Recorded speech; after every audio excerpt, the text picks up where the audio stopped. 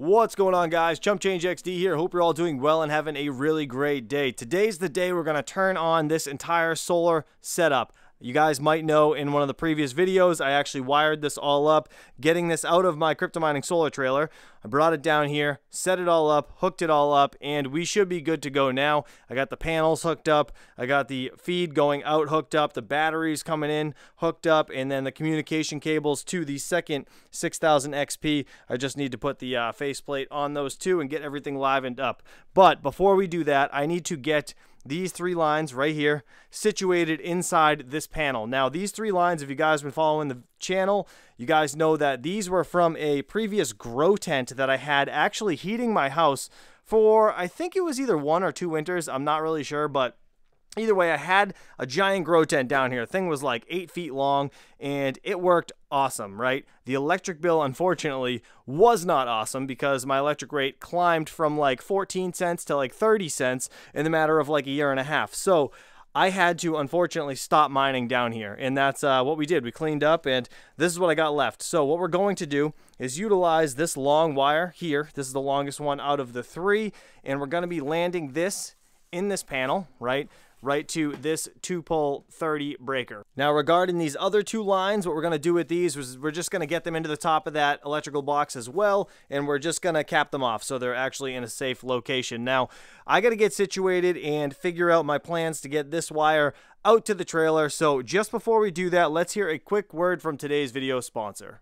Crypto Miner Bros is the ultimate destination for all of your crypto mining needs. Founded in 2018, this company specializes in top quality ASIC miners from brands like Bitmain, Goldshell, and many others. Whether you're a newbie or a pro, they offer competitive prices, fast shipping, and easy payment options worldwide. Pay with bank transfer, Bitcoin, or even other cryptocurrencies, no cash needed. The prices you see on their website include taxes, shipping, and DDP to your door, so there are no surprises at checkout. Join tens of thousands of satisfied customers who trust Crypto Miner Bros for their hardware fulfillment, transparent prices, and world class service. Check out CryptoMinerBros.com, link down below.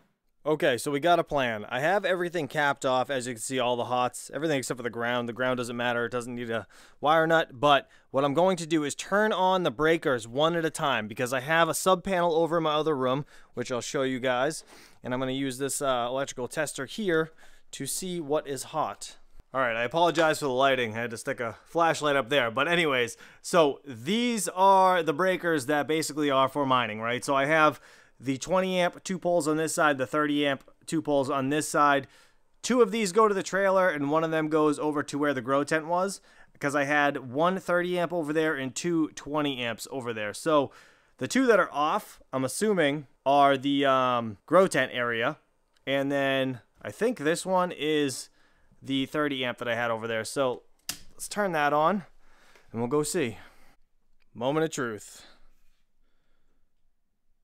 Nope. Nope, it's not that one. I knew I wouldn't be that lucky. Oh, it's this one. All right, so this was this was that 30 amp. Okay, good to know. Okay, so we're going to kill this one and I'm going to turn on this one. Please. Damn it. Yep. All right, so it's a shorter one. I have the worst luck. Okay, this one's back off. Turn that one on, and that should be it. At least it better be it. Come on. What the You know what? After I just tested everything, this I don't think is actually landed to a breaker inside that panel. I think it's just capped off, and I think I found it, so let's do a continuity test. Alright, so I just put the two hots together. So a continuity test basically is just to make sure that there is a, a looped current all the way through the whole circuit there. So what I ended up doing was finding these wires, and I'm pretty positive it's those two. All right, so the way continuity works is basically this thing will beep if it actually connects a circuit. So I'm trying to do this one-handed. You got, you can hear it. So these are the legs I need. Okay, so now that I identified the two lines that I need to hook up, the ground is actually already landed. It's this orange wire right there actually. So I followed the ground that's down here and it actually has landed to the ground bar, which is good. So I can land that in the sub panel over there or the uh, off-grid panel over there just to utilize the same ground. And then we will uh, yeah, be able to twin this to one of the lines that's going out to the trailer, which is again any of those lines right there with the T on them. So I'm gonna have to disconnect it from one of these breakers here, actually. So yeah, let's uh, I guess get it landed in the panel over here, and then we'll be good to go. And there we go. Everything's all wired up. So I actually got this wire into the box. I put one of those uh, push button connectors there so it's protected. It's installed properly. Now I need to find two more of those push buttons to be able to get these wires in here, but that's the least of my worries. I'm just excited to be able to turn this system on now because the ground coming from this 10-3 wire, I actually ended up uh, putting it on the ground here, so this entire panel is now grounded. Uh, I also the reason the other panel actually looks so messy is because all of the 10.3 that I actually used when I only really needed 10.2, I actually took all the red wires or the extra wires that I wasn't using, the third extra wire, it was just tucked off to the side. So that's why it looks like there's so many extra wires in that other panel. I just didn't want to cut it short.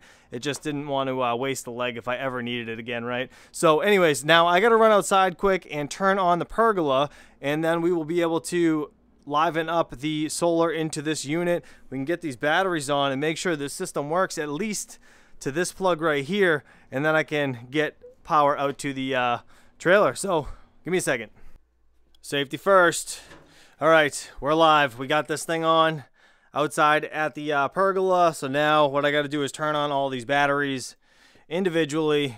Then we'll power up the bus bars and we will get this whole thing live. Everything should be good no issues. They're still at 99%. I shut them off where they were full. Actually, that second one is at 100, fourth, fifth one's at 100, and so is the sixth one. All right, let's, uh, I guess, liven it up. All six of them. Okay. Again, these batteries have fire suppression in them, so I'm not too concerned with these. I'm just, uh, yeah, just for safety. All right, let's uh, turn this unit on should come on without the panels. I think. I forget, to be honest. Oh, duh, gotta turn this on. Now we should have power to this unit. Okay, there we go. As you can see, it doesn't have any panel power coming in, but that'll change in three, two, one. There we go let's see. Again, it's raining out, so probably not going to get too much here. But uh, it'd be nice if we got some. All right, there we go.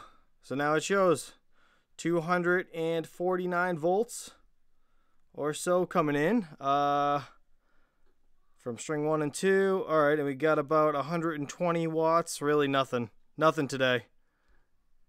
Nothing today.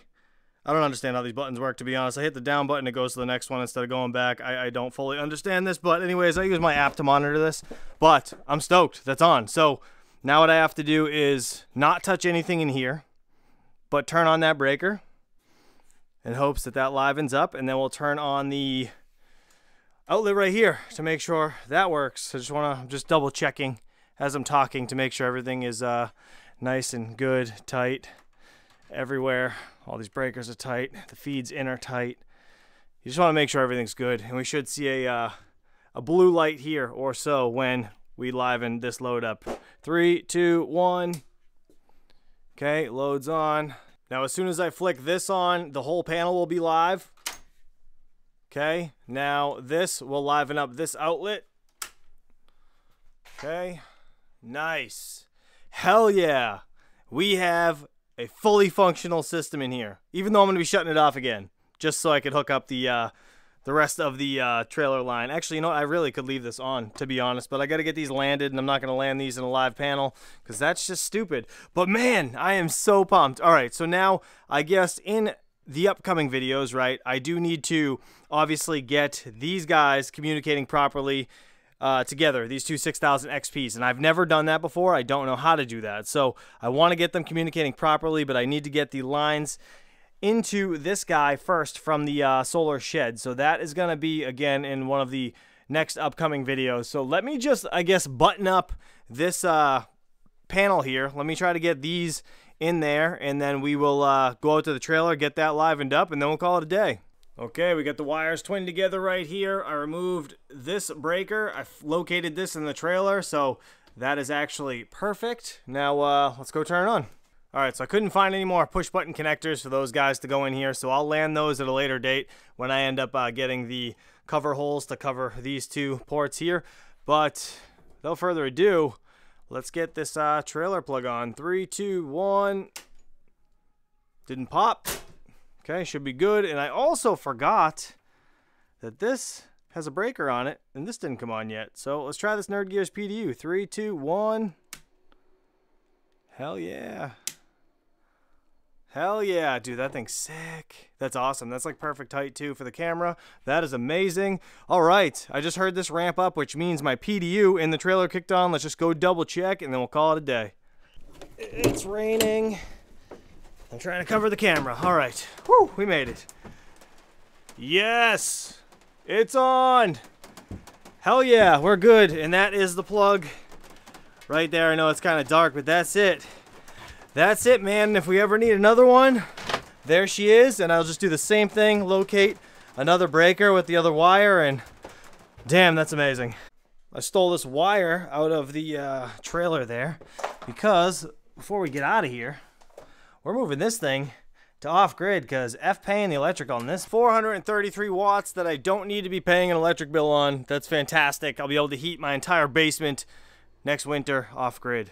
Amazing. All right, guys, listen, that's it. I got it up and functional. That's all I really cared about. I shut the uh, breaker to the trailer back off just for uh, safety. Again, it's it's raining out there, and I'm not plugging anything in anyways. So I just want to make sure that it's uh, 100% good to go. I want to be able to monitor out there for a little bit, just like I'm going to monitor this, make sure everything is running smooth for the rest of the night. So you guys have a great rest of your night, and I'll catch you guys on the next one.